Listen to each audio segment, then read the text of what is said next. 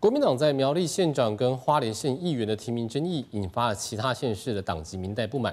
全国正副议长联谊会的总会长蒋根煌今天在中常会上，将各地联署声援的陈情书交给了党主席朱立伦。会后，两个人也短暂的闭门会谈。蒋根煌转述朱立伦向他解释，苗栗县长的提名作业有征询过地方。不过，今天来找朱主席的不只是蒋根煌。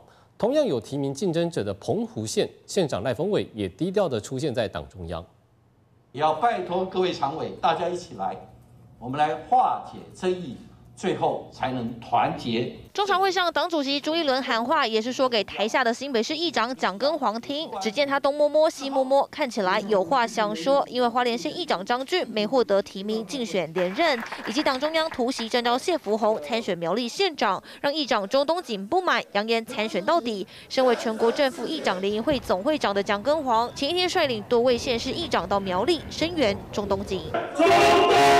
蒋根煌将这份连署的陈情书。带到党中央，蒋根煌在常会上拿出一个纸袋，要给朱立伦说这是地方的声音。不过据了解，蒋根煌并没有多说什么，朱立伦也使眼色，要他私下再谈。常会后，两人进到主席办公室简短谈话，但对提名争议有转换空间吗？地方上的事情，他说他都有说就是在解决。张晋应该不会变的，他说他们没有说不让张晋走到中常会通过，改变的可能性是。